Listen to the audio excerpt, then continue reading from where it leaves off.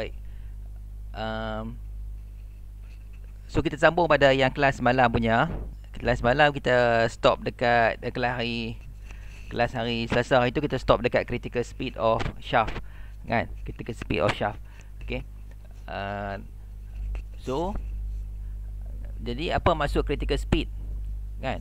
Jadi bila satu shaft ni dia ada speed dia sendiri. Okey apabila maksudnya kalau melebihi dia punya speed dia akan jadi uh, masalah.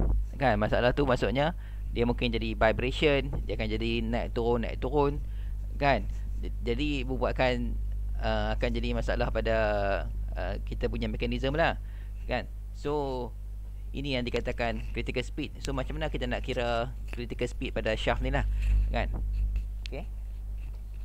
So when a shaft shaft is turning and eccentricity causes a centrifugal force deflection okay which is resist by shaft flexural rigidity EI as long as deflection are small no harm is none okay. Jadi makna dia kalau satu shaft ni tengok gambar tengok uh, botol air ni kan kan botol air ni dia pusing okay. Kalau dia statik tak ada masalah lah duduk macam tu lah okay. Tapi bila dia pusing dia start pusing dia akan ada naik turun naik turun. Okey naik turun naik turun deflection dia. Deflection dia kalau kita boleh dalam within range yang kita acceptable tak ada masalah pun kan? Macam tengok kita punya tayar kita punya kereta kan? Kan? Dia berpusing tayar dia. Tayar kereta berpusing tayar motor berpusing tayar kipas angin pusing. Okey? Within dia punya range tak ada masalah pun kan? Okey? Tapi bila dah lebih range range dia akan jadi vibration naik turun naik turun naik turun macam ni. Kan? Ataupun berpusing macam ni deflection ini akan jadikan uh, masalah. Okey? Uh, apa ni? Kalau you tengok uh, benda-benda yang kecil kan shaft yang kecil kan contoh uh, pemaker saya ni. Diameter dia kecil kan? Kan? Pemaker ni kecil lah diameter dia yang ni besar lah. Jadi kita pun fikir secara logiknya apabila yang ni berpusing kan? Dan dia adalah seperti deflection macam ni. Yang ni kecil pusing. Dia akan jadi vibration kan? Sebab dia punya uh, geometri kecil. Geometri dia kecil. Kemudian dia punya flexural rigidity maksudnya dia punya uh, kebolehan dia untuk bengkok tu uh, tu pun rendah kan? Okey tapi berbanding dengan shaft yang besar ni kita nak backup pun tak boleh kan? Sebab dia keras kan? So dia tak mudah nak vibrate. Tapi setiap setiap barang tetap ada critical speed dia. Maksudnya lepas pada limit tu dia akan mula vibrate kan? Dia akan mula berpusing jadi gelong fluctuation dan sebagainya lah. Ha, kan? Okay. So another potential problem however is called critical speed. At certain speed the shaft is unstable with deflection increasing without upper bond. Okay? Apa maksudnya? okey apa pun jadi kalau kita belajar dalam subjek subjek uh, management ke kan dia ada uh, lower limit upper limit ni apa apa limit. Ini lower limit upper limit and lower limit. Setiap barang kita, kita mestilah frekuensi dia jangan melebihi limit ni. Tapi kalau dia melebihi limit itu ada masalah. Uh, ni subjek-subjek seperti uh, uh, responsive phase method. Okay? Dia nanti kalau dia lebih limit ni apa limit? Bawah limit? Dia akan jadi masalah. Okay subjek ni apply untuk semua subjek. Uh, bukan subjek uh, vibration saja apa sajalah. Kalau you tahun depan you menggunakan sensor kan? Ataupun uh, you menggunakan makmal uh, apa sajalah makmal yang melibatkan surface analysis. Kan mesin menggunakan surface analysis. Apabila permukaan dia tak rata okey permukaan tak rata dia akan tengok graf tu akan naik lebih pada limit. Okey lebih daripada limit maksudnya ada masalah. Uh, this not this subject is not limited only for machine component design. Dia apply untuk semua uh, semua uh, perkara okey benda-benda social science pun betul. Benda-benda uh, kejuruteraan pun memang pakai kan? Okey yang bagai dia punya uh, lower limit dengan upper limit punya konsep ni. Okey. It is opportunate that although the dynamic deflection is unknown okay using a static using a static deflection curve give an excellent estimate of the lowest critical speed Schaeffer's curve uh, meets the boundary condition of different uh, deflection equation zero moment deflection of at both bearing. And the shaft energy is not particularly sensitive to the exact part of the deflection curve. Designers seek first critical speed at least twice the operating speed. Okay? First critical speed at least twice the op operating speed. Okay? The shaft because its own mass has critical speed. Okay the ensemble of attachment have to a shaft likewise has a critical speed that is much lower than the shaft. Intrinsic critical speed maksudnya. Setiap barang tu uh, kalau kita assume pen marker saya ni sebagai shaft dia sendiri ada critical speed dia. Kalau tengok botol air ni ada sebagai shaft dia pun ada critical speed dia. Okey? Uh, bergantung kepada property of material lah kan? Kalau benda tu kayu speed dia ada benda tu besi pun speed dia ada semua ada. Okey estimating the critical speed and harmony is the task of the designer. You all lah designer okey my geometry is simple as in a shaft or uniform diameter. Simple uh, supported the task is easy as expressed as uh, this is the critical speed wi ni. Symbol for critical speed okey uh, pi pi per i i adalah moment of inertia okey m uh, ei ni adalah yang modulus i adalah moment of inertia m tu adalah mass dia okey? Pi sama dengan pi per i iaitu uh, pi bagi moment of inertia. Kuasa 2 uh, punca kuasa g g gravity okey? E yang modulus uh, i adalah uh, moment of inertia. A adalah area dia dan gamma adalah specific weight. Kita tengok apa makrifan kepada equation ni kan? Uh, jadi equation yang kita pakai untuk uniform limiter. Masuk uniform limiter contoh contoh. Kalau marker saya ni marker saya ni ambil yang putih je. Kan? Ambil yang putih yang yang uh, kepala biru ni bukan. Kan? Jadi kalau ambil yang putih semua geometri dia sama. Kan? Geometri sama. Tapi bila kita consider campur sekali dengan uh, kepala dia ni yang biru ni geometri dia berbeza sikit. Begitu juga dengan uh, botol air ni. Kan? Kalau tengok dengan mata kasar nampak sama tetapi dia ada slight sikit curve kat atas tu. Jadi geometri dia sedikit berbeza, kan? Tapi kalau dah geometri majoriti sama, so kita can assume dia adalah uniform diameter lah.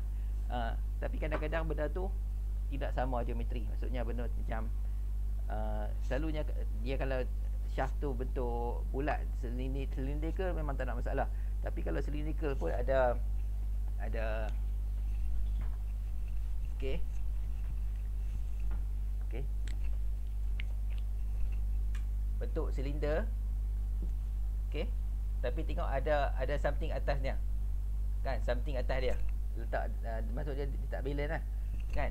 Ni memang silinder tapi ada atas atas tu attachment letak atas dia. Kan? Okey. Dia menjadi tidak tidak balance kan? Um, jadi yang ni kita pakai equation yang lain kan?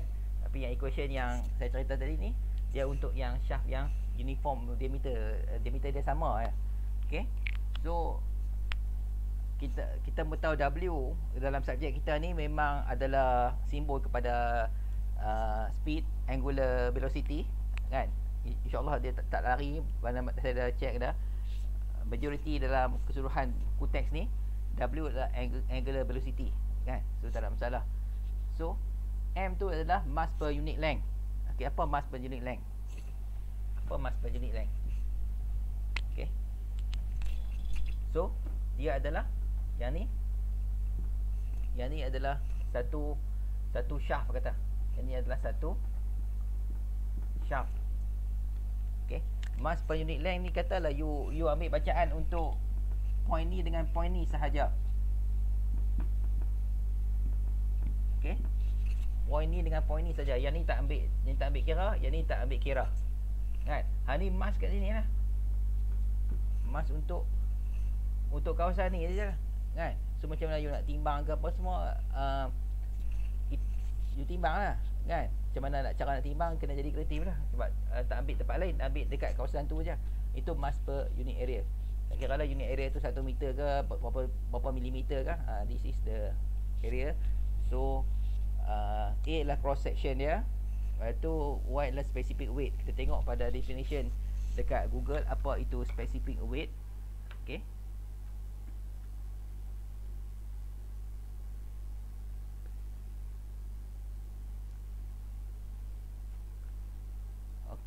Specific weight is also known as unit weight. Is weight per unit volume of a material.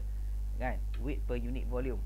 Okay. Commonly uh, Use value for specific of water is uh, 9.807 Newton kilonewton meter. So, so yang ni specific weight ni boleh tengok kat table boleh cari kat table untuk uh, untuk apa setiap material memang ada specific weight dia. Dia tak lari banyak. Kalau jenis besi besi lebih kurang tu juga. Kalau jenis jenis kayu lebih kurang tu juga. Okey so so itu cara dia. Kita tengok. Tak tak ada masalah Okay, to assemble and assemble of attachment, relic method for lump mass is given by WI uh, sama dengan punca G G ialah gravity jumlah WI YI uh, WI YI okey YI ni apa lah Y? Uh, ni Y okey YI okey kalau maksudnya assemble or attachment ni apa? Kan? Assemble or attachment kata you pun belajar pada hari Selasa lepas kita pun tahu dalam shaft ni dia ada macam-macam dia di shaft ni berbentuk tangga macam ni Ha ni tangga di tangga ni pun shaft juga. Kan? Dia bukan dia ni dia bukannya ada uh, satu satu jenis tapi dia bertangga-tangga. Kan? Ni pun shaft juga. Kan? Okey. Contoh ni kita tengok uh, gear lah. Kan? Uh, step step step shaft lah.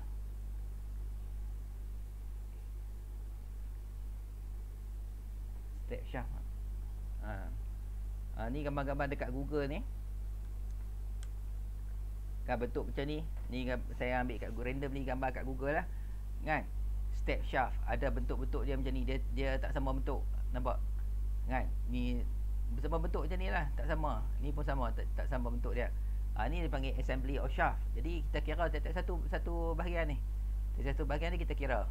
Ni satu bahagian ni satu bahagian satu bahagian. Kita kira this is uh, this is another equation this is another equation this is another equation dan tambah-tambah ya.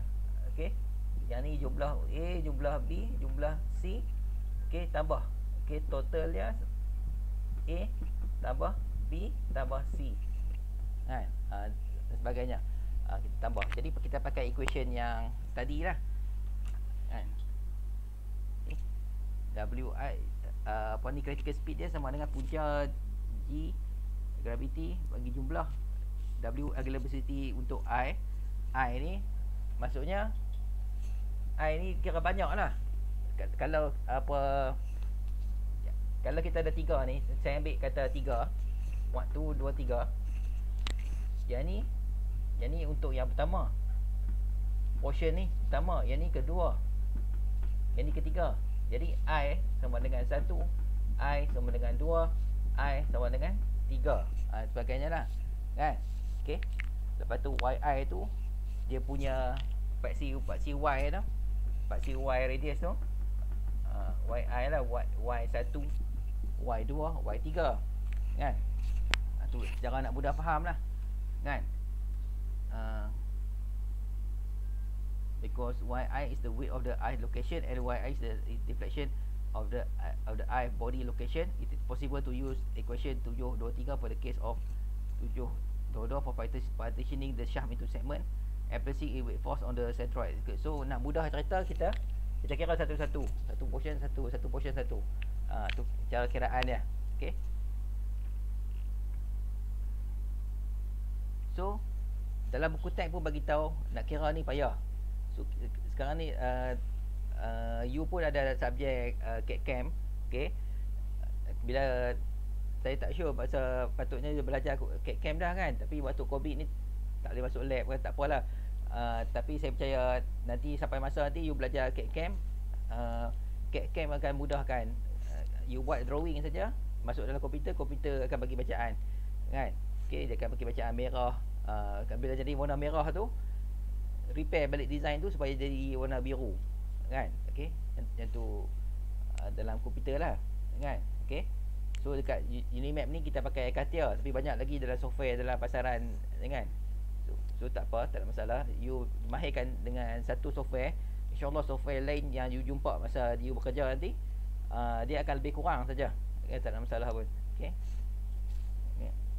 Uh, computer assist assistant is often used to lessen the difficulty in finding transverse reflection on step shaft. Ha, ini step shaft ni. Kan transverse deflection ni dia dia kat arah ni dia akan ke depan tu. Kan? Okay. Uh, to counter the increasing complexity of detail, we adopt a useful viewpoint in as much the shaft is an elastic body. We use the influence coefficient. Ha, kan? Dia nama istilah dia influence coefficient. Influence coefficient is the transverse deflection at location I on the shaft due to unit load at location J. Okay. From table H96 we obtain for simply supported beam with single load yang ni. Okay. Yang ni uh, apa? D1 D11 D12 D13 J ni semua ni yang, yang ni for three load for influence coefficient lah. Yang ni adalah table A96 kan? Uh, quite complicated. Okay? Yang ni adalah deflection. Okay? Deflection pada uh, Bukan deflection Displacement. Kan? Pada seperti Supported beam Supported by single load Is shown, shown in By Equation ni BJ X1 L02 tolak BJ 02 tolak X Bila X lebih kecil pada A1 Yang ni Satu equation lain uh, Bila XI Lebih besar pada A1 mana A1 okey. Mana ni A?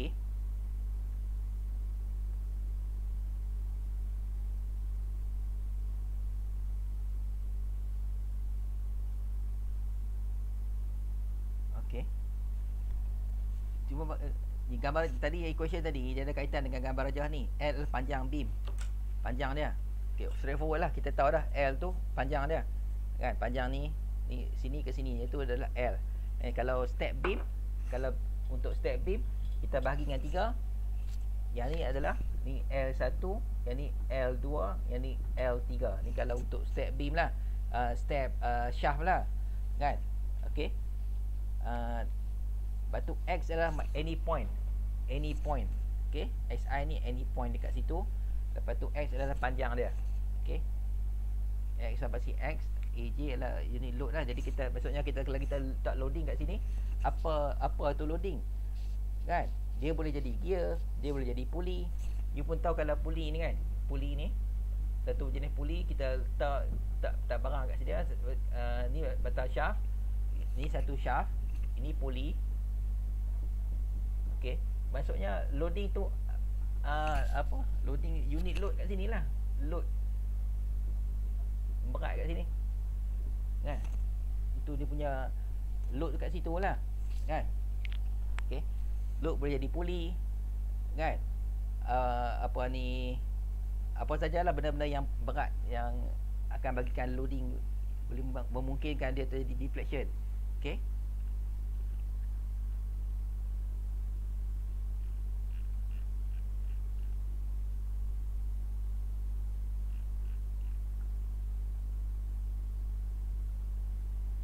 So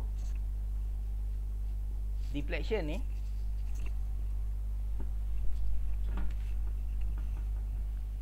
If you remember uh, Spring punya equation kan? You remember spring punya equation? Uh, F sama dengan KX Daripada uh, spring punya equation. Jadi F adalah force, K adalah constant, X adalah adalah uh, deflection. Okay, deflection ataupun displacement. Okay. Kat sini dia pakai istilah uh, istilah deflection. Okay. Deflection versus displacement. apa beza dia apa beza deflection apa beza displacement dua-duanya menunjukkan bengkok kan? Berapa jarak dia bengkok? Okey tapi istilah dia berbeza. Kepahaman dia tu berbeza. Okey? Kalau deflection okey? Deflection ni beam ni okey? Satu beam bila straight kamu letak load dia jadi bengkok. Okey? Dia pakai D lah. Yang ni uh, dia punya istilah dia adalah deflection. Letak satu load dia jadi bengkok dia akan jadi deflection. Kat sini adalah dia punya slope slope dia kan? Okey? Nampak? Tu deflection. Kalau displacement pula kan? Kamu letak satu load kat atas dia pada uh, apa ni kedudukan statik tu dia turun berapa? Dia turun berapa? X. Okey. Sama juga dia turun juga. Tapi ni adalah kita bagi loading. Contoh saya bagi saya ketuk ni. Saya ketuk pakai hammer kan. Saya ambil hammer saya ketuk. Hammer paku tu turun ke bawah. Ha yang tu adalah displacement. Ha ni ni adalah deflection. So equation dia adalah sama juga equation ni uh, F sama dengan K kali dengan deflection lah. Ha, okay yang tu. Basic equation dia lah. Ha tu tengok equation dia ni. F Y D I uh, coefficient yi di ni displacement so equation ni jangan terkeliru dia adalah pakai yang ni. Ji d11 d12 13 nampak dan sebagainya. Okey?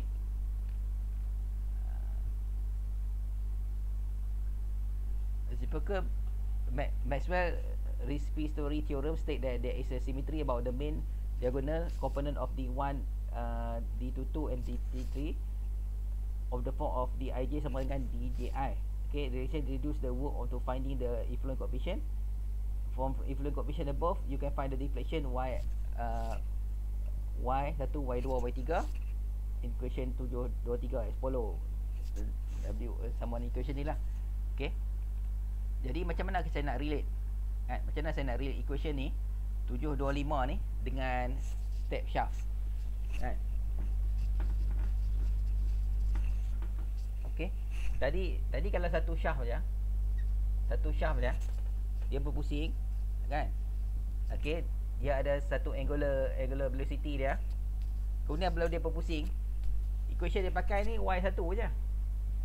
Y1 saja. Kan? Kalau equation 725 tu dia pakai satu saja. Kan? Tapi kalau ada dua batang Okey, shaft ni berbentuk lagu ni. Maksudnya ini satu ini satu portion ni portion pertama ni portion yang kedua so equation 7.25 tu dia akan jadi y1 yang ni y2 kan? Kalau dia naik jadi ada yang ketiga. Step shaft lah. Step shaft. Yang ni y1 y2 y3 dan seterusnya dan seterusnya dan seterusnya lah. Kan? Dia punya konsep dia macam tu lah. Kan? Okay so So you sebab tiap-tiap kali contoh kita bagi motor kat sini benda ni bergerak kan? Benda ni bergerak ada pusingan ke kan? Ya semua ni akan ada deflection kan? Bila satu bergerak dia bukannya batang kat sini dia ada deflection. Sini pun ada deflection ni pun ada deflection. Tetapi tapi kalau kalau yang ni bengkok yang ni ni besar dia dia backup yang ni. Yang ni lagi besar dia backup yang ni. So dia akan stabil. Dia akan stabil. Dia cuba faham lah kan? Tapi macam macam saya contoh uh, apa? Maka saya ni saya pegang. Saya benda ni pusing. Kalau dia laju-laju dia akan jadi fluctuate lagu ni. Kan? Tapi kalau ada body step ladder ni dan yang ni pula badan dia besar body dia besar dia akan sedikit uh, makan uh, counter balik. Yang deflection ni so dia taklah reflect sangat. So ada lagi besar body kat belakang 3 ke 4 dan seterusnya Dia akan counter balik ke semuanya Menjadi tak ada deflection Tapi deflection tu In teori memang ada lah kan? Seperti juga kamu belajar vibration punya subjek Vibration tetap ada Bila benda duduk statik pun tetap ada vibration kan? Sama juga ni Vibration tetap ada Tapi dia terlampau kecil sampai ya, Benda tu selamat lah tak ada masalah ha? Kan? Okay? Kan? Okay? the force uh, Fi can arise from the weight attached Wi or centrifugal force uh, Mi W uh, Mi mass W lah uh, critical speed kosong dua I Y I. Equation is set of internal internal inertial force display I uh, displayed as the Y1 Y2 Y3 dan sebagainya. Lah equation dia lah kan? So can be written as yang ni. Ni, ni secara you nak derive uh, equation which is uh, quite complicated and quite tedious. Tapi saya punya pendapat ialah sudut-sudut kejuruteraan at least kena try satu sekali kan? Uh, try sekali buat lo bagi peding lo kan? Then baru gunakan komputer apa sebagainya lah. Uh, nak dapatkan basic idea tu kan? Okay? So simulation equation set uh, A is three simultaneous equation in term of yi uh, y1 y2 y3 to avoid trivial solution y1 y2 y3 sama dengan kosong determinant uh, coefficient of y1 y2 sama 0 engine value problem. So thus yang ni okay dapat sama kosong. Okay which is that deflation other than 0 exists on three distant value w for critical speed. Jadi kita nak mudahkan equation kita kata benda tu tak bergerak lah. Bila benda tu y kosong tu kita boleh kata benda tu tak bergerak tak ada pergerakan lah. Setting lah. Mesin tak on lagi kan? Okay so ni. Uh, so itu jadi kosong kan? Bila mesin on dia ada pergerakan. Y tu ada pergerakan naik turun naik turun. So kita tak pakai equation ni lah kan? Which is the deflection other than zero exists only at three distinct value W of W critical speed. Expanding the determinant we can obtain I 1 per W kosong 2 dan sebagainya. Dapat equation ni. So the root you can get this equation. Uh, we had only single mass MI alone critical speed we given, by WI per W02 sama dengan M1 D11 okay? Uh, D11 D11 denote this critical speed W11 we consider only M1 acting alone. Likewise for M2 or 3 acting alone we similarly define the term W02 sama dengan or respectively. So written by as, as this equation okay if we order the critical speed such as W1 ni then uh, W1, W2, W3 W1 lebih kecil daripada W2 lebih kecil daripada W3 then I per W1 ke 2 is much greater than W ni. Okay. cuba cuba faham kau yang ni. Apa maksudnya ni? Tadi tadi saya dah terang dah. Saya terang apa kaitan yang ni kan? Apa kaitan equation ni dengan vibration. Jadi critical speed lah saya ulang balik. Saya nak relate gambar uh, equation. This statement W1 lebih kecil dari W2 lebih kecil dari W3 you bayangkan ada step ladder macam ni. Ni 2 3 dia ada step. Okey yang ni ada speed dia. Yang ni ada speed dia. Yang ni ada speed dia. Tengok geometri yang ni kecil. Yang ni besar sikit. Yang ni besar. Kita pun tahu kalau satu uh, cara logiknya satu body yang besar pegang yang kecil yang kecil tu tak tak bergerak lah kan? Yang ni kecil kalau dia saja bergerak laju. So critical speed dia laju kan? Okey yang ni critical speed dia rendah sikit. Yang ni critical speed dia rendah sikit kan? So menjembatkan the whole assembly menjadi stabil kan? Okay, jadi stabil okey itu je lah. Okay. so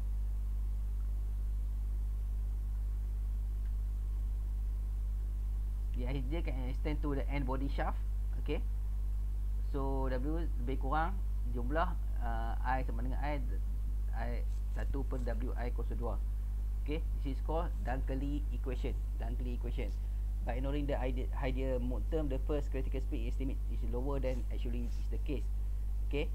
Since uh, equation has no load appearing in the equation it follows that if each load is could be placed in some convenient location transform into an equivalent load. Then the critical speed of an array of load can be found by summing the equivalent load or placed in a single convenient location.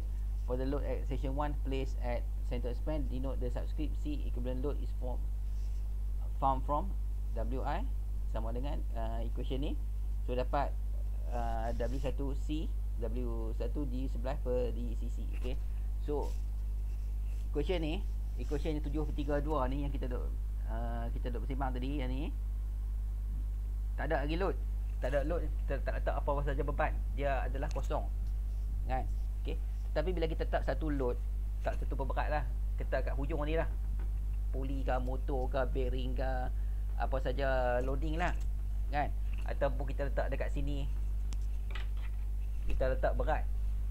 Kat pemain sini ke load lah. Kan? Okey. Ha then then pada load ni dipanggil W1C sama dengan W1D 11 per di CC kita kira kat load ni kat situ. Ha itu itu cara dia. That's the equation lah. Yeah. so this, this is the uh, apa contoh soalan. Okay which is ada dalam video YouTube kan? Okay ada dalam video YouTube saya uh, pun tahu dah kalau saya nak terang uh, satu-satu apa, apa equation ni dia akan ambil masa satu jam punya kelas pun uh, insyaAllah satu jam boleh cover lah tu. So saya sebagai backup saya dah buat video uh, tahun lepas saya dah buat video uh, menceritakan tentang macam mana saya akan masalah ni. Okay? So boleh tengok video kat YouTube ya kan? Consider simply supported uh, shaft in uh, figure 7.14 with 1 inci diameter with uh, 31 inci span between bearing. Okay. Ni bearing satu ni. Satu ni ada bearing. Okay. Dekat tangan saya ni bearing tangan satu lagi dia bearing. Okay. Okay. Carry two weight uh, two gear weight 35 and 55 pound. Okay. Find the equivalent equation okay. Find jumlah w uh, y and w y equals to 2 in the first critical speed using the equation find equivalent equation using the Curly equation uh, estimate the first critical speed uh, use superposition to estimate the first critical speed estimate the shaft intrinsic critical speed okay? So uh, ulangan balik first critical speed tu maksudnya benda tu tak bergerak lagi. Benda tu tak tak bergerak lagi uh, kita assume macam dalam equation yang lepas-lepas kita tengok balik kat atas tu dia assume y sama dengan kosong. Kita bila sebut kosong tu maksudnya benda tu tak bergerak lah kan? Uh, ini apply untuk mana-mana subjek kan? Kalau dalam equation tu assume uh, awal-awal assumption dia adalah assume apa sama dengan kosong. Maksudnya benda tu tak bergerak. Dia tak lari pada pasti x dengan pasti y pun kan? Uh, kebanyakan equation yang you akan jumpa dalam kejuruteraan ni mana-mana topik kejuruteraan dia tak lari pada pasti X dengan pasti Y. Bila pasti X dengan pasti Y tu diikuti dengan kosong maksudnya dia tentu tak bergerak kan? Okay so kita tahu dah speed dia uh, bila kita bergerak okay baru dia ada nilai dia kan? Okay? So, tak apa. 8.50 dah. Okay so saya boleh berhenti dekat ni. Dan uh, assignment tu boleh hantar ni uh, apa nama assignment yang saya bagi tu uh, bukan assignment. Gear uh, quiz tadi hantar waktu kelas ni. Okey siapa yang hantar lewat waktu kelas uh, akan dipotong markah lah. Mudah saja. Jawapan pun dah ada di dalam buku teks. Okey? Jawapan pada quiz tadi pun dah ada dalam buku teks. Okey? Sementara saya duk cakap tadi pun you pun boleh buat kan? You you tak tahu nak buat tanya kawan-kawan. Telefon kawan whatsapp kawan tanya eh. okey? Tapi tulis tangan lah kan itu saja. Ada soalan? Ada soalan ke? Tak ada. Ada, okey, okey. So, hari ni 80 orang mai. Mana lagi 40 orang. Betul, 30 orang ni tapi. Betul sungguh. Tak, ni, tak bangun sahur apa? Ya, okey. Okey. So, selamat berpuasa. Uh, apa ni, selamat berpuasa semua. Okey. Apa sama raya nak bagi raya. Itu saja dari saya. Terima kasih banyak. Okey. Okey jumpa lagi hari Selasa depan. Ah uh, then lupa nak tanya minggu depan uh, dalam jadual tu saya nak buat quiz. Saya, saya kena buat uh, ujian. Saya kena buat ujian. Okey hari apa yang apa free? Adakah nak buat kena buat malam? Ataupun nak buat waktu kelas? Buat ujian Ujian satu ni ada orang jawab ah. Tak apa saya saya bagi tahu dulu.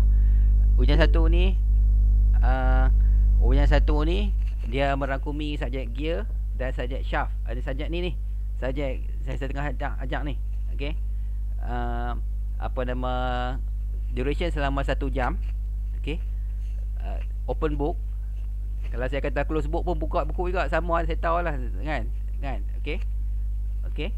So uh, kalau ikut uh, undang-undang dia saya kena cari di di luar waktu kelas. Kalau ikut law betul-betul saya kena cari di luar waktu kelas.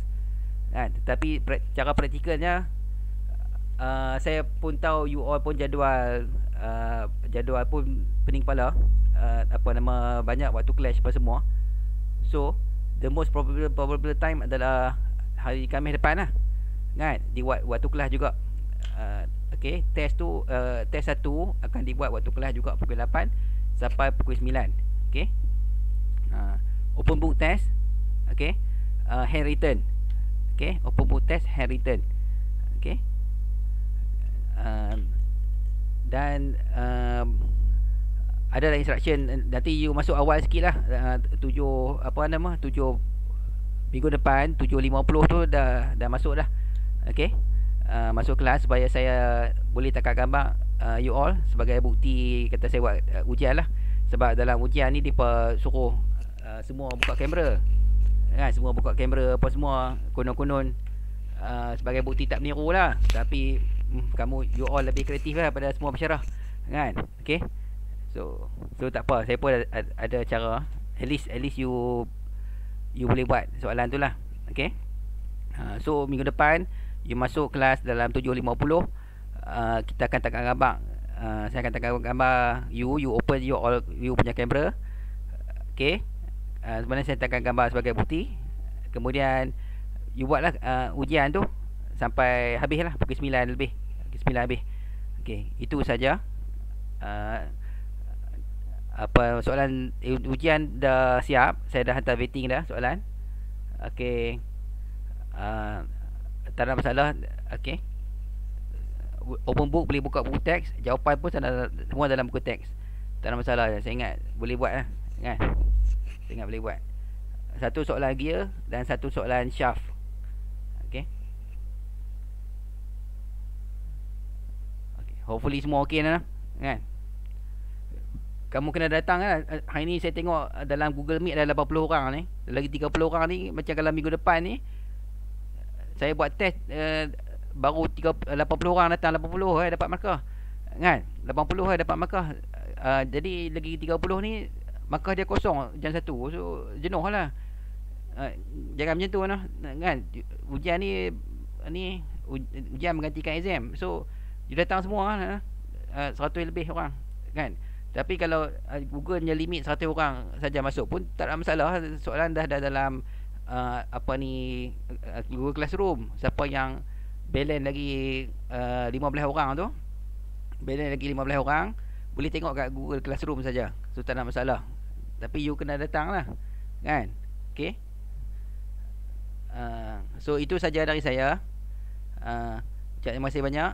So minggu depan kita akan buat test insya-Allah pada hari Khamis waktu ni lah kan 8 sampai 9 pagi di waktu kelas ni kan okey itu saja dari saya. Okey terima kasih. Kan, assalamualaikum. Thank you sir. Okay. salam thank you doktor okey